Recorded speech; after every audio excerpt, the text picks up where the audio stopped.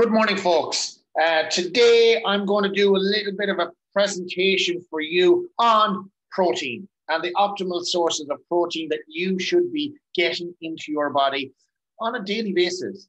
Um, upping your protein level is hugely important, regardless if you're trying to burn fat or build muscle. It is an essential element in your dietary needs throughout the day. So, without further ado, let's get into this. I'm just going to share my screen quickly. Beautiful. There I am. Um, all right, let's get into this. Optimal protein sources. Let's get into slide number one. Okay, just to give you the reason why protein is important. Proteins are made up of chemical, up of chemicals, uh, the building blocks called amino acids.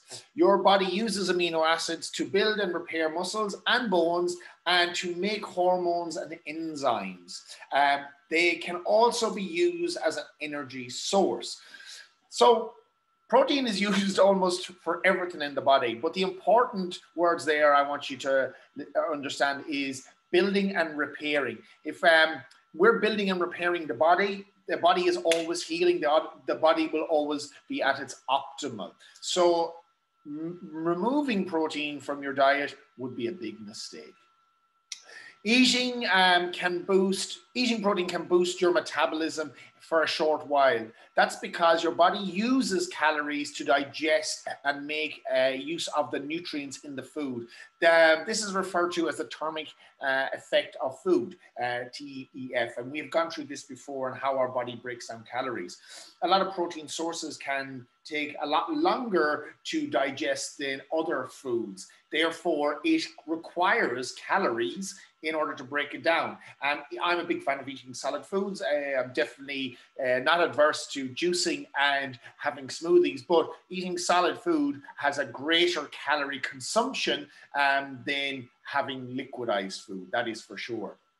And the final point on this slide is uh, food cravings are difficult uh, from uh, different from normal hunger or like being hungry. Um, one of the best preventions, preventative methods is to increase your protein intake when it comes to cravings and hunger. Um, proteins will keep you far more satiated than most other foods. Um, and because of what most proteins contain, they will help curb those cravings that you might have for, we'll say, not the most optimal foods out there. Okay. Right, let's get into it. The protein sources that I'm a big fan of. Um, right, I'm, going to start off here with red meat and steak. Red meat and steak is probably one of the most bioavailable sources of um, uh, protein. It's, it contains pretty much everything that you would need from a protein source, including uh, your amino acids. Now, I've said earlier on about amino acids. I am not listing the amino acids in all protein sources because most natural sources of protein will contain all, most, if not all, of the amino acids required for the body to build, uh, to create hormones and to rebuild muscle. Um, so what I'm going to just outline here is some of the important things. So red meat and ground beef, um, similar. If you can uh, choose steak over ground beef, it's always probably for me the good, better, best scenario. It's the best out of all those scenarios. If you can source meat that is produced uh, as grass-fed beef or a sustainable farm, that is optimal also, um, much more so than you know factory farmed beef. But you have red meat that contains niacin, B12, iron, zinc, uh, carotene, and creatine. So you have niacin, which is fucking just fantastic for the nervous system and skin. Um, good rebuilders for that. Your B12, iron, and zinc, just going to boost your immune system right up, keep you strong and healthy all the time.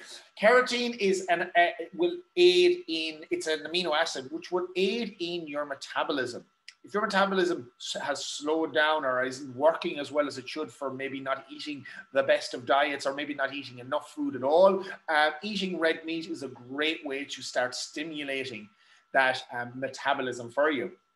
Um, and obviously, creatine. This is what you know um, we supplement when we're working in the gym to make us stronger. it is contained naturally in red meat. So if you're not eating red meat, maybe think about it.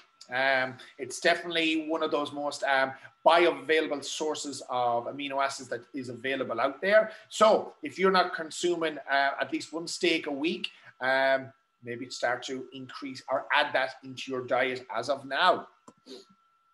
Next, we're going on to our fatty fishes. I'm a big fan of salmon and sardines. Definitely salmon. Sardines is the quick, you know, snack that you can have with crackers, um, and you know, just on the move if you want to get a quick omega-3 boost into your body. Your your your salmon contains selenium and uh, potassium, B12, and omega-3s. Your selenium is basically an antioxidant that um, helps uh, regulate thyroid function as well and improve thyroid health health. And, and obviously your omega-3s is a good uh, fatty acid to be getting into your body to, in order to help produce the good hormones that the body requires in order to work as well as can be. Protects joints as well. Fatty fish, you know, if you have sore joints and irritated joints from maybe exercising and, and um, uh, just wear and tear, getting fat, fatty fishes into your body is essential. Now, there's other ones as well out there like uh, trout and um, haddock and different fishes like that. Um, but trying to get salmon into your diet at least once a week will be a good call. Okay, so let's roll with it. And now we're getting into our eggs. Um, I love eggs. Eggs, and if you can eat eggs um, as often as possible, maybe in the morning, you know, it's a good breakfast. Um, uh, it's a good breakfast to start the day with, having eggs and maybe on toast with a bit of avocado. Uh, but having boiled eggs throughout the day as a snack is fantastic as well. Eggs contain everything. Please eat the whole egg. Do not get rid of the yolk. Listen, my my thing is always bodybuilding, and you'd always hear um, you know, bodybuilders going for the egg whites and, you know, removing the yolks. I'm not a believer in that. The yolk contains all these vitamins that I've listed here. First of all, you're containing, you've got your omega-3s, your selenium, but your vitamin D, vitamin B6 and 12, your, your zinc, your iron and your copper. These are all very essential um, um, like minerals that your body requires to stay fit, healthy and optimal. Um, so removing the yolk is not what I recommend. Keep that bloody yolk in there. Eat the whole egg. Fry them, scramble them, uh, boil them. Doesn't matter. Eat them, put them into your smoothie. Who cares? Just get your eggs into you and the whole eggs. They ain't bad for you at all. From here, we have the where the egg comes from, the old chicken. And what came first, the chicken or the egg? Who gives a fuck? They're fucking delicious. All right. So eating chicken again, you will get the same things that are in the egg. It's just the egg turns into, one of these motherfuckers. Um, you can get an easily snackable chicken from the supermarket that's already pre-cooked. This is not again, it's it's good, better, best scenario. Can you cook the chicken yourself? Absolutely. Can you slice it up and bring it in your lunch? Absolutely. But if you're in a pinch and you want to grab some crackers and chicken and cheese from the supermarket, that is a good protein snack to get you through the day. So let's think outside the box here. Chicken is a great source of protein. For me, I find it a little bit boring. I would always go for red meat first, but if you like it, it is there uh, with the optimal sources of protein. So make sure you get onto it. Okay, here we go. Our dairy section. Um, milk, cheese, and Greek yogurt. Look at the list of um, benefits it has. Sorry, not benefits. Um, vitamins and minerals it has. Um, you will get a huge quantity of optimization, if you want to call it that, from your dairy products. Now, I understand for sure a lot of people struggle drinking milk and maybe eating cheese because of a lactose intolerance. Well, if you do suffer with a lactose intolerance and you still need to get these um, vitamins and minerals into you, try Greek yogurt.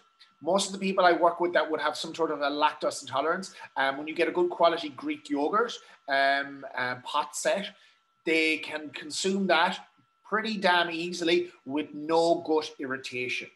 Okay, so um, I myself will have will go through maybe five liters of milk in, in only two days. I love the stuff. Um, but I understand, as I said, people cannot tolerate it. So definitely using Greek yogurt. I put Greek yogurt in smoothies, and then at the end of the day, when I'm having a dessert, I might have Greek yogurt, some berries, and some dark chocolate. Just mix it all together. Greek yogurt um, is a fantastic source of protein as well. So those are some options for you there. Now we're moving on to the last one. Protein powder. If you feel you're lacking in your protein um, uh, protein consumption throughout the day, a protein powder is a good option. On my scale of good, better, best, it's good. I would always prefer if you would go for a natural source of protein from your food, but protein powders can help boost up your protein content throughout the day.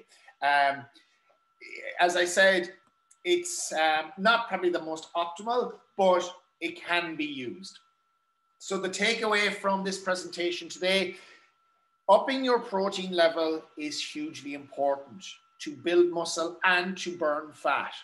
I would always be recommending, and when you're tracking your calories, that 30% of your calories uh, would be in and around the 30% would be uh, uh, made up of protein. Sorry, biggie, biggie, biggie. That's all, folks.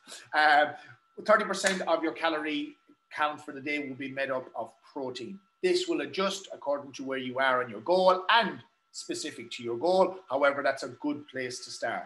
Remember, eating protein should be consumed with your carbohydrates and your fats, not protein on its own. Do not eliminate um, um, macronutrients uh, without a good reason for doing so.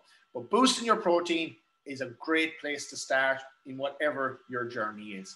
So I hope you found that presentation um, somewhat helpful. Um, I, I enjoyed making it and I will see you soon.